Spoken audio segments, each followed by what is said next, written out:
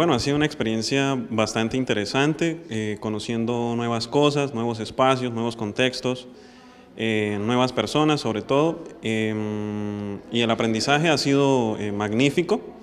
Por supuesto, cuando uno viene de otro lado hay cosas que son diferentes y que por ahí pues chocan un poco, el tema cultural también, pero ha sido una experiencia muy interesante en términos generales. Recordanos qué carrera estuviste cursando. Eh, bueno, estoy haciendo una maestría, este es mi segundo año en la Facultad de Ciencias Humanas, en Ciencias Sociales, es la maestría. ¿Y cómo fue esa experiencia en cuanto a contenidos, en cuanto a contacto con los docentes? No, ha sido, ha sido muy bueno, la verdad que me llevé una, una grata sorpresa, eh, los contenidos han sido muy, muy interesantes y sobre todo colaboran mucho, contribuyen mucho a mi trabajo de grado. Y luego de esta despedida que le están brindando, ¿cómo sigue la formación profesional? ¿Cuáles son los proyectos hacia el futuro?